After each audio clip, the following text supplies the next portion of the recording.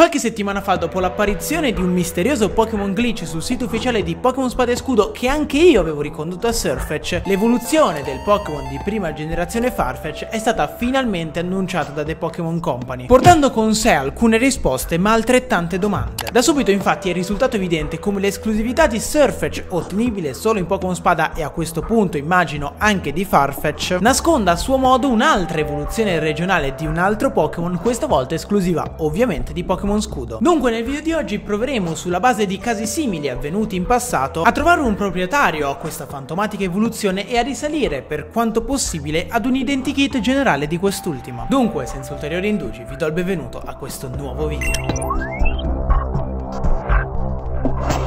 Metto subito le mani avanti e vi dico che il compito è molto arduo, perché possiamo basarci solo su suggestioni passate e su congetture che non ci danno assolutamente certezze. Ciò nonostante, questo è l'unico modo che abbiamo al momento per addentrarci nella questione e dunque il primo elemento che andrà a comporre il nostro palazzo ci riconduce inevitabilmente ad Alola, in particolare alle forme Alola di Ninetales, Sandslash e Preevoluzioni. Le due nuove catene evolutive in Pokémon Sole e in Pokémon Luna vennero infatti per così dire separate e rese esclusive di due versioni differenti. Il Pokémon Volpe venne assegnato a Pokémon Sole mentre al Pokémon Topo toccò Pokémon Luna. Se volessimo seguire questo pattern individuato ad Alola anche per quanto riguarda l'evoluzione galariana di Farfetch, che peraltro è una cosa diversa rispetto al concetto puro delle forme Alola, allora dobbiamo rivedere alcune delle ipotesi che sono state fatte negli ultimi giorni. La prima di queste è stata attribuire una fantomatica evoluzione galariana a Pokémon simili per ispirazione e statistiche a Farfetch stesso e a titolo esemplificativo potremmo dire due nomi, quali Delibird e Chatot. Eppure, tornando al nostro esempio aloliano, Ninetales e Sandslash non sono lo stesso animale nemmeno in lontananza e peraltro non rappresentano nemmeno una controparte canonica del mondo Pokémon. Per intenderci, la controparte effettivamente canonica di Ninetales, come ben sappiamo, è Arcanine. E seguendo lo stesso ragionamento che si vorrebbe applicare quest'oggi a Chatot e Delibird, in Pokémon Sole e Luna si è parlato fino allo sfinimento di una possibile forma Lola di Arcanine, che però alla fine dei conti non abbiamo avuto. Allo stesso stesso modo, chi sostiene che la controparte di Surfetch debba essere un'evoluzione di Chatot e Delibird perché questi ultimi avrebbero delle statistiche molto simili a quelle di Farfetch, si trova di fronte, con l'esempio di Sandslash e Ninetales, ad una controprova schiacciante, perché il totale delle statistiche del primo, ossia Sandslash, difetta di ben 55 punti rispetto al 505 che presenta Ninetales, attestandosi dunque su un ben più modesto 450. Eppure da questa supposizione che in questo video abbiamo iniziato a smantellare, particolare, credo si possa ricavare in realtà l'unico elemento effettivamente certo che possiamo inserire all'interno di questa speculazione, ossia il fatto che il Pokémon che riceverà un'evoluzione galariana esclusiva in Pokémon Scudo deve essere, come Farfetch del resto, un Pokémon a stadio unico. Se infatti Farfetch e Surfetch saranno esclusivi di Pokémon Spada, allora è lecito supporre e pretendere, aggiungerei, che in Pokémon Scudo vi sia una controparte che conferisca l'esclusività allo stesso numero di mostriciattoli, e dunque in quest'ottica ad un Pokémon a stadio unico che evolvendosi fornisca l'esclusività per l'appunto a due Pokémon. Peraltro, sempre riferendoci al pattern individuato ad Alola con Ninetales e Sandslash, l'evoluzione galariana che farebbe da controparte a Surfetch dovrebbe effettivamente essere un Pokémon di canto, in quanto sia Sandslash che Ninetales che Farfetch lo sono. Con queste supposizioni, a dire il vero, abbiamo già chiuso tantissimo il cerchio di alternative, andando a comprendere al suo interno solo quei Pokémon di canto a stadio unico e che, è sempre importante ricordarlo, non abbiano ricevuto nel corso del tempo delle evoluzioni o delle pre-evoluzioni. I Pokémon che secondo questa ricostruzione sarebbero dunque papabili sono Farfetch, Pinsir, Kangaskhan, Ditto, Tauros, Lapras e Aerodactyl. E allora direi di iniziare a partire con l'eliminatoria. Farfetch, a meno che non si supponga una forma alternativa di Surfetch, è abbastanza improbabile e direi di escluderlo già a priori. Soprattutto perché il leaker del 23 maggio, che già aveva liccato Surfetch, non ne ha parlato, il che quantomeno è abbastanza curioso. E allo stesso modo escluderei Pinsir, Kangaskhan e Aerodactyl la causa della loro mega evoluzione. Certo questa feature non sarà presente a Galar, però mi sembra davvero strano che si voglia mettere sotto i riflettori dei Pokémon che hanno già avuto il loro momento di gloria, per così dire. Ammettendo dunque per forza di cose che Game Freak faccia le cose per bene, sarebbe quantomeno ambiguo, tra l'altro, vedere un Pokémon evolversi quando in potenza potrebbe effettivamente mega evolversi. E dunque, dovendo ragionare per esclusione, direi di accantonarli. Sotto la lente di ingrandimento restano quindi tre Pokémon, che sono Ditto, Tauros e Lapras. Posto che di Ditto faccio molta fatica a immaginare un'evoluzione perché secondo me è un Pokémon già completo, ma che comunque resta una possibilità e quindi non va scartato, voglio indagare meglio sia Tauros che Lapras. Il primo perché forse è il più logico sotto certi punti di vista che metterò in luce a breve e il secondo perché la sua suggestione mi ha folgorato durante la stesura di questo copione. Prima però di procedere è necessario un appunto che ci sarà utile più avanti per ragionare meglio soprattutto su Lapras. Benché infatti Ninetales e Sandslash abbiano ottenuto lo stesso tipo nelle loro varianti di Alola, c'è a mio avviso la possibilità che ciò non accada con Surfetch e con la sua controparte di scudo. Difatti una curiosa coincidenza potrebbe, restando comunque molto cauti, darci un indizio importantissimo sul futuro tipo di questa nuova evoluzione di Galar. Ora Surfetch è un Pokémon esclusivo di spada ed è di tipo lotta, ma anche il capopalestra esclusivo di spada, ossia Fabia, è di tipo lotta. Se noi supponessimo che Surfetch fosse il suo Pokémon principale e ciò sarebbe un ottimo modo per dare lustro a un Pokémon sempre bisfrattato, dobbiamo postulare anche che in Pokémon Scudo presso la palestra di Onion, capopalestra di tipo spettro, vi sia un'uguale evoluzione di Galar di un Pokémon ovviamente di tipo spettro. E certo questa non è altro che una mera speculazione, ma al momento credo sia l'unico modo effettivamente logico per provare a supporre coerentemente il tipo della controparte di Surfetch. Vi ricordo tra l'altro affinché non fraintendiate cosa io intenda per tipo spettro, che dalla settima generazione in poi il concept di questo tipo è cambiato, non riferendosi più solamente a fantasmi, ma in generale a creature che si muovono nell'ombra, misteriose e la cui identità è sempre rimasta per certi versi celata. Esempi di questo tipo banalmente possono essere Mimikyu o Decidueye. E la cosa, benché per Tauros non ci importi più di tanto, sarà vitale invece per Lapras. E il motivo lo vedrete tra poco. Detto ciò potremmo effettivamente essere giunti ad una conclusione perlomeno soddisfacente anche se non effettivamente certa. L'evoluzione di Galar che farà da controparte a Surfetch sarà un'evoluzione o di Lapras o di Tauros di tipo spettro. Più chiaramente un ipotetico secondo tipo che questi Pokémon potrebbero avere. Ora però vorrei provare a parlarvi un po' più nello specifico di queste due opzioni mostrandovi come Tauros sia effettivamente quella più razionale e Lapras quella invece più sensazionale. Intanto in un certo senso Tauros è già posto di suo in relazione con Farfetch. Difatti in Pokémon Go entrambi rientrano in quella macro categoria di Pokémon che sono esclusivi di un determinato continente, in particolare Tauros è esclusivo del Nord America, mentre Farfetch si trova prettamente in Giappone e in Corea del Sud. Come se ciò poi non bastasse, Tauros rispetto a Lapras ha un totale di statistiche ampiamente più basso che si aggira attorno al 480, numeri che gli consentono un margine effettivo per una sua evoluzione successiva, mentre Lapras già si stanzia su un 535 che è un numero davvero spropositato. Contando che il Pokémon non leggendario con il totale di statistiche più alte, escluso Slacking che è già penalizzato dalla sua abilità, è Silvalli che ha 570 e che peraltro Lapras potrebbe avvantaggiarsi di un'Evolcondensa che di fatto lo